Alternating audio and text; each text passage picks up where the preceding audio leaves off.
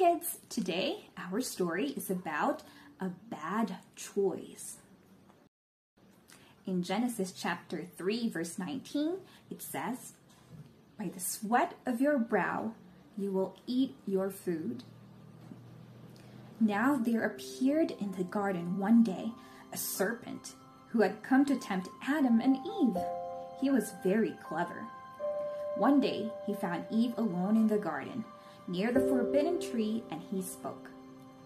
Did God really say not to eat from every tree in the garden? Eve was startled and said to the serpent, We may eat the fruit of every tree in the garden except this one, for God has warned us. He said, Do not eat this fruit or even touch it, or we will die. You will not die, said the serpent. God knows that if you eat the fruit of this tree, you will be just like him. Your eyes will be opened, and you will know about good and evil, and you will be just as powerful as he is. Eve then gazed back upon the forbidden fruit. She remembered God's warning, but the serpent's word did seem to make sense.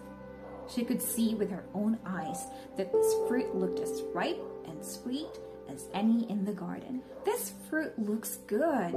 It probably tastes good too. And wisdom is something everyone needs. The serpent is right, she thought.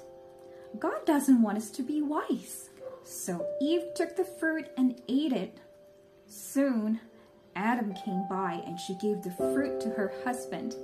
He ate it also. Adam and Eve had sinned against God. Soon they heard the voice of the Lord as he walked through the garden. Adam, where are you? he called. Adam answered, We were hiding, Lord, because we were naked and afraid. And God said, Adam, have you eaten from the tree that I warned you not to?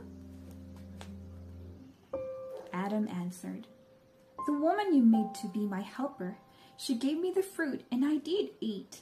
Then the Lord said to the woman, What have you done? The serpent confused me, Lord. He told me I would not die, and that we could be gods too.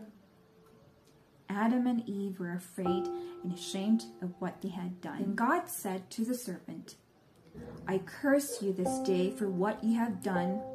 You will crawl on your belly all the days of your life. The serpent fell silent on the ground and slithered away. Adam, the Lord said, Because you disobeyed me, you shall work very hard for your daily bread. The ground will be full of thorns and thistles. The Lord made them clothes to wear and sent them out of the Garden of Eden, never to return again. Behind them, he placed an angel with a flaming sword to guard the entrance to Eden. Our Bible truth for today is I will seek to obey the Lord.